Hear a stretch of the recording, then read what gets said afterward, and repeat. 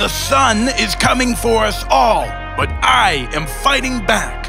I've trained my body to be impervious to the sun. No lotions, no creams, just blistering away all my weakness. I've been staring him down for 12 hours straight, and I don't care if he raises the sea levels, okay? Because I've been stealing pool toys from my asshole neighbor Steven for months.